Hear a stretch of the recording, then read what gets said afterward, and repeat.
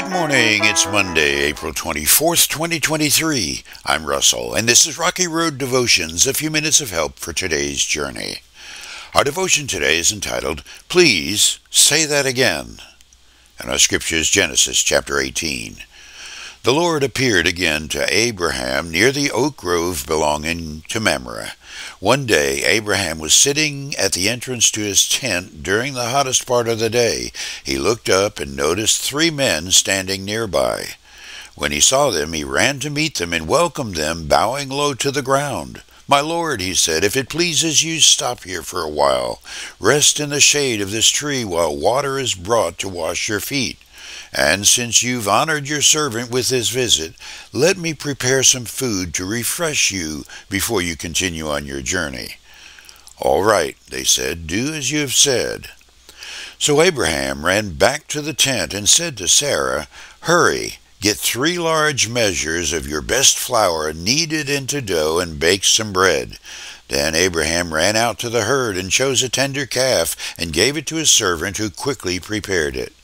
When the food was ready, Abraham took some yogurt and milk and the roasted meat, and he served it to the men. As they ate, Abraham waited on them in the shade of the trees.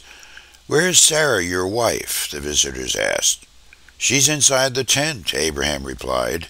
Then one of them said, I will return to you about this time next year, and your wife, Sarah, will have a son.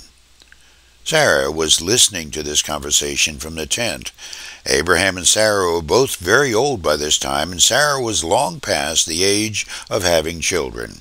So she laughed silently to herself and said, How could a worn out woman like me enjoy such pleasure, especially when my master, my husband, is also so old?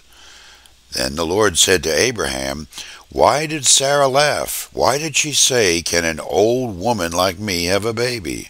Is anything too hard for the Lord? I will return about this time next year, and Sarah will have a son. Abraham had no problem understanding what was happening and how important his three visitors were. This was not his first rodeo.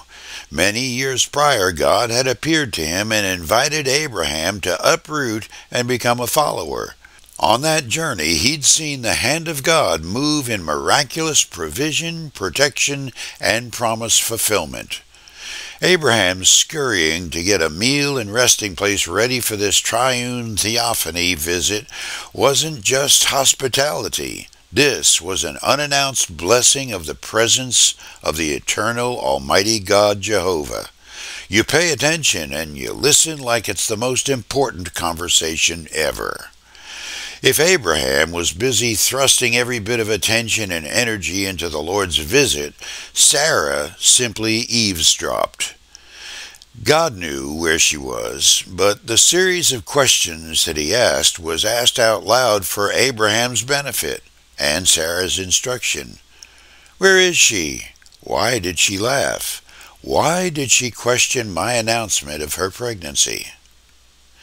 Leading questions are followed by the interrogative that ends excuse making and makes your head spin.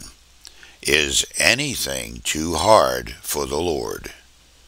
in the face of laughing at a promise that God makes, you can always expect a challenge of your faith. And once God asks you to declare your faith with a simple yes or no, the debate is over. For you today, if you've been on Abraham's journey with God for a good while, you certainly know what it's like to pant out of breath just trying to keep up and you're also aware you don't question the direction, you just cooperate. You learn that lesson when you laugh like Sarah, and a brief time later the evidence of how right he was and how foolish you were is getting large in your belly, cementing the lesson forever in your mind.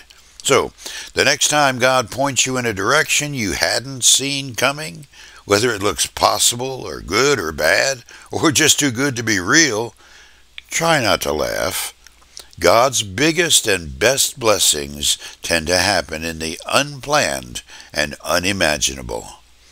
You chew on that as you hit the rocky road. Have a blessed day.